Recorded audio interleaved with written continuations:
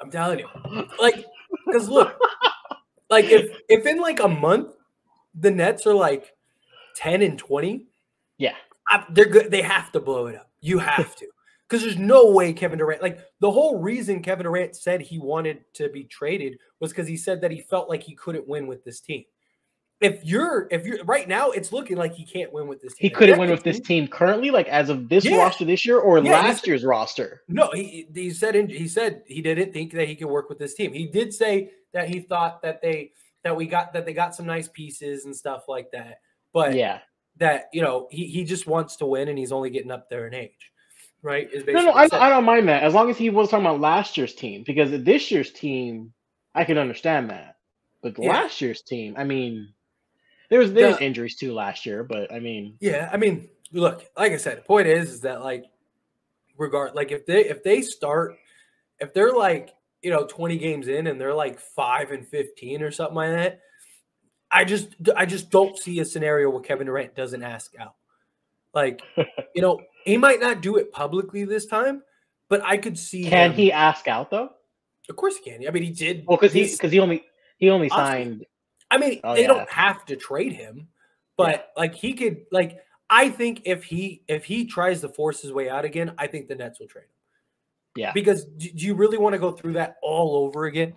Like do you like you finally you finally won, right? And I think from a Nets perspective, you you have to. Like if this team is terrible, like I said, like if this team goes and they're, you know, and they're, like I said, they're five and fifteen or something like that Yeah. through the first 20 games, they they got to got like they got to blow it up because you're not winning a championship with this team. Like you know, you're you're In the off chance that they do, though, does he still leave or does he stay? if they, if the Nets win the champ, like if the Nets turn it around and they're like 15 and five, I think all will be right in the world. But like if they're not like if they're a play-in team again, like then I don't like they like because like even earlier today I was talking about the Nets and somebody was like, we got to relax. Like the Nets have injuries, and I'm like, T.J. Warren, who hasn't played with this team, does not count as an in. Like this is no, still not a, not a contributor. He's not. not yeah. yet, at least we don't. I mean, maybe he does, but still, Yeah. like you have. It's like saying, "Oh, Wenyen Gabriel got injured, so we don't like." No, no disrespect Exactly. to Wenyen Gabriel, but it's you know what I mean. Like, What? Yeah, I mean, it's like okay. A better example would be like Kendrick Nunn. Like, let's say Kendrick. okay, Nunn yeah, okay, that, that's sorry, that's a Kendrick Nunn better hasn't- example. Let's say Kendrick Nunn hasn't played yet. Could Yeah. Kendrick Nunn make an impact? Sure, but he he hasn't. He wasn't a part of the team last year. He isn't. You know, he's not like. It, it's not. You have the core of your team, and that's the point. Yeah. You have Ben Simmons, Anthony Davis, uh, or sorry, Ben Simmons, Kevin Durant, and uh, and Kyrie Irving. You got the core of your team. Like you know, TJ Warren isn't going to come in and and turn you into you know the Jordan's Bulls. Like it's not going to happen. you know, like it's just. I mean, yeah, he's not like a Steve Kerr. He's not like like you know like he doesn't have that type of impact. Yeah, yeah. Could he be? Is he going to be a contributor? Sure. Is he going to be a guy that you know maybe gives you 15 points a night? Sure. But he isn't going to help the defense. He isn't going to turn the team around single handedly. Like, you know, it's it's it's you got your core guys and you look bad. So that's what I'm saying. Like, if they don't look good through like 20 games, if you're the Nets, I think you got to blow it up. I think you got to put Kevin Durant on the trade block, and I definitely think you got to trade Kyrie Irving. Even if it's not, to, even if you don't trade Kyrie to the Lakers, I think you got to trade Kyrie Irving because if Kyrie walks, you're screwed. If you're the Nets, you're okay, screwed because if you if you don't trade Kyrie Irving and he leaves, you have Yeah. no salary cap to replace him because they're still over the cap with Kevin Durant on a max, uh, uh, uh, Ben Simmons on a max, and then they still have um, Joe Harris on a 22 million deal or 20 million deal, whatever. yeah, There's all your salary, so you can't replace Kyrie. You might as well get something for him. And if this team sucks, continues to suck, they're going. They're not going to want to keep Kyrie. Kyrie's not going to want to stay on a team that he can't win with or can't play with. And no, because that was that was the issue in Boston a little bit. Although I feel like he could have, I still feel like he could have won in Boston. But that, I mean, I think he could have won in. Boston either. He just, That's I just don't think he nor really there. wanted to be there. Um, Now blow it up, blow it up for Victor, or just blow it up. I don't think it would be bad enough. no, Victor, they, they but- can't blow it up very. They don't have the draft pick. Um, Oh yeah, but- that's right. That's right. That's right. But uh you like like if I was the net, like if the Nets are terrible, I would like I would call Phoenix and I would call Boston, especially Boston.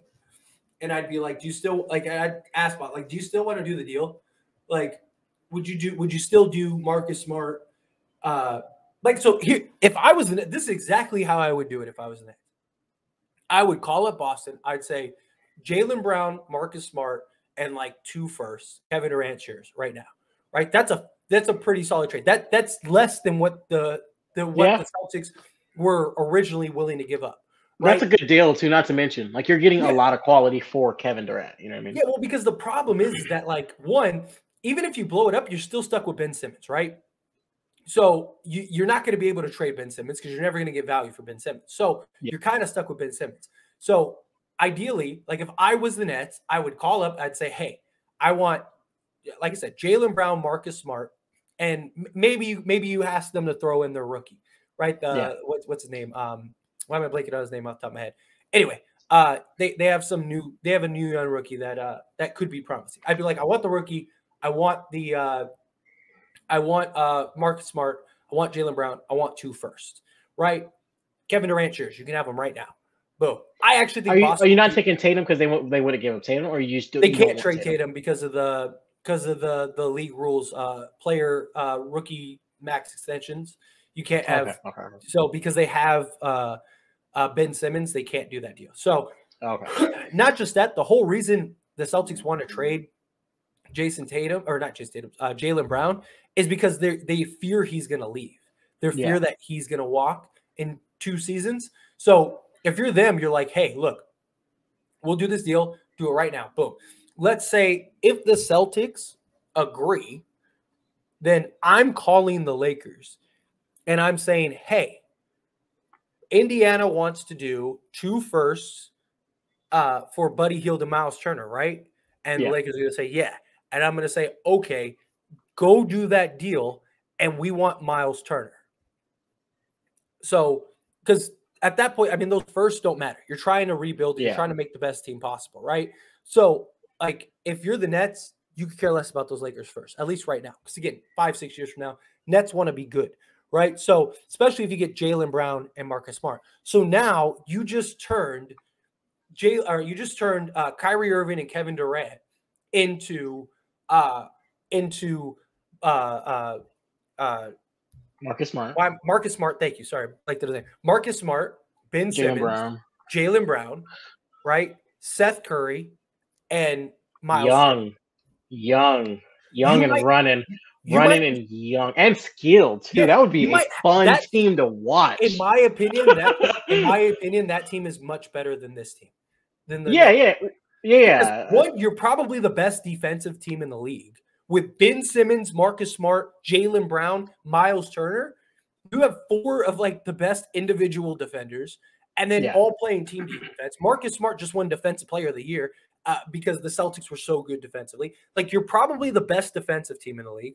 Not only the best defensive team in the league, you got scoring, you got closers. Yeah, I agree, Snorlax. That quarter did went back, did go back. uh, but like you have everything. Like, and you have depth. You still have TJ Warren. You still have Joe Harris. You still have Nick Claxton. You still like you're a good, deep, young team. You're yeah. basically you're basically the Boston Celtics from like two years ago, and that team went went to the Eastern Conference Finals. Like you're yeah. that's literally the team you are. Like so, I think that I think that so basically you turn Kevin Durant and Kyrie Irving into a better team all around. Maybe they, they're not they, they might not have the gifted scorers that the Nets yeah. currently have, but you still have all your shooters. And you just and you're now you're now instead of being one of the worst defensive teams, you're probably the best defensive team in the league. You're gonna be yeah. good. Like I don't know if you're a contender good, but you might you might be close. You're gonna be better than you are right now as a player. Well, yeah, they're gonna look kind of how like the Celtics look like right now. Like I mean, yeah. Well, and yeah. the and the Lakers, you and the Lakers were willing to give up both first round picks for Kyrie Irving and the offseason. So if you're the Nets, if you're the Nets, you're saying like, look, you were willing to give us both first for Kyrie Irving, right? Yes. Indiana wants both first right now for Buddy Hield and Miles Turner, right? He's they're gonna say yes. They're gonna say, okay, yeah. go do that trade. Keep Buddy Hield because we don't need Buddy Hield because we got Joe Harris. Keep Buddy Hield. Go do that deal, and then we're gonna tack on as a third team, and we're gonna swap, you know, Kyrie Irving and and Miles Turner, and you know, whatever. We want a pick swap in 2028 and you know, and maybe Max Christie or something like that. Which I like Max Christie, yeah. but you know, hey, if we could get Kyrie Irving on this team right now, I think we do it. Right? You do that. So now you got two rookies that you could develop under your system that you could have for the long term. I really like Max Christie. You get a pick swap from the Lakers that might be good in 2028. You get, you know, two firsts from the Celtics. You get Micro Smart, uh, uh, Jaylen Brown, and Miles Turner. Now you're a really good team. You got two good young rookies. You got a bunch of shooting. You got a bunch of defense. You, I mean, you got everything, literally. Yeah. Like, and the Lakers would do it because, like I said, they were going to do both first for Kyrie Irving anyway. Boom. There you go. Everyone's happy. The Lakers land yeah. uh, Buddy Hield and Kyrie Irving. So there's your shooting. There's your scoring, right? So now you get that. Lakers so you think that just because they have Turner, they're fine? Like, well, I mean, if you got Turner, you'd be okay because you're not too worried about the pick swap and yeah. Like, you know, okay. You're not like so, and and yeah, so like like I said, if you're the Nets, you're like we're gonna lose Kyrie for nothing anyway. Why not get a young center that we can keep now? The Nets have wanted Miles Turner for like two, three years now. So, so you, you do get, that deal just for Turner, really? Yeah, essentially, you're just, just basically swapping Kyrie for for uh, Miles Turner. I mean, I, I, think the Lakers would have to throw in something else. I'd have yeah, to yeah, like look, I'd have to actually look up the money, but m- they might not because the Pacers have because the Pacers have um yeah, because the Pacers have like 30 million cap space, so they might not have to. Uh because yeah. uh basically because you'd have uh the Lakers sending so basically the the Pacers would be taking the the salaries, they'd be taking all the salary guys. You know, maybe maybe you even throw in I don't know, like you know, if you have to, you throw in like a Kendrick Nunn or something, you know, whatever, whatever you got to do. Because if you get Kyrie Irving and you get Buddy Hield, like I said, there's your shooting, there's your scoring. Lakers yeah. are probably night and day better. You know, you got you still got your big three, you got your team of now and the next several years, right? And you're good. And like, right, the whole point of you preserving cap spaces for Kyrie Irving next year, why not? You know, if you could get him now, like again, I'm not saying that this will happen. It's all just hypothetical, but yeah. Like I think the Nets become a much better team. I think the Lakers get everything they want. I think, I think Boston the, wants would want to make that trade though. That's the only thing. Do you think that would they would actually want to make that trade? I mean, they offered it in the offseason. That's true. So I mean, why not? I mean, maybe maybe they look at it as like because they don't want to they don't want to help. Want to do it in the middle of the season? Maybe that, that's yeah. how they look at it. Like maybe we yeah. don't want to do it in the middle of the season. But like again, the whole reason is that they're afraid that they're going to leave. But okay, like let's say let's say they say no. I guarantee mm-hmm. you the Suns will trade, will make that trade. And so to get rid and, of Ayton. Yeah. Well, yeah, you could trade Ayton. Well, the problem is uh Ayton has veto rights on everything, so he has to want to go to Brooklyn. They can't trade him unless he want unless he says it's okay. At least this year. But why wouldn't he want to go and be the guy in Brooklyn? Yeah. You know? Well, yeah, so, yeah. You know, so like if you could get like so say so say the Celtics don't want to do the deal, right? Okay, fine. Move on to the Suns. Try, get Ayton. Uh, because I think the Suns would give you whatever they want, primarily because the Suns are trying to sell the team. And yeah, you know what'll get you more money? Having Kevin Durant, Devin Booker, and Chris Paul on your team. That'll get you. That'll probably get you an extra bill. Hey, that's a that, that's a contender. That's a that's a strong yeah. contender. If they could play together, which I don't see why they couldn't, because I know I mean, Kevin Chris Paul. Chris. Chris Paul's the ultimate orchestrator, right? You got yeah, like Chris could play with Kevin. I know that for a fact. Well, we've seen that from the the uh the team, the um the Redeem team. Which, yeah. by the way, if you have not watched it, and for all of our listeners, if you have not watched the Redeem Team on Netflix, it was a great documentary. Amazing. Fact. Fact.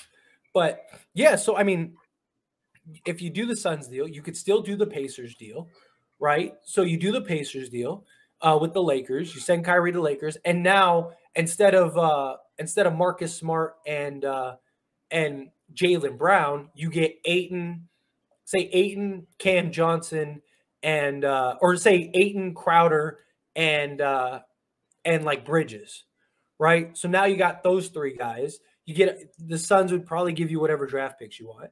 It makes it it makes sense for the Suns because now they're probably a legit contender. Not only are they probably a legit contender, but again, the owner's trying to sell the Bridges team. That's nice. He is, but he's not Kevin Bridges Durant. Nice. No, but he's not. You know, so yeah. you basically turn a center that doesn't really want to be there and Bridges into into Kevin Durant, and yeah. you know, and then go sign Cousins and Whiteside. There's your center. Your center's now filled, and now you don't have to worry about the center position, and yeah. you got a legit team. Like I just think, however you slice it, I think the the net could make up very well. No, no, no. The Lakers are getting smacked. Bruce Brown's three or three from three. That's ridiculous. But anyway,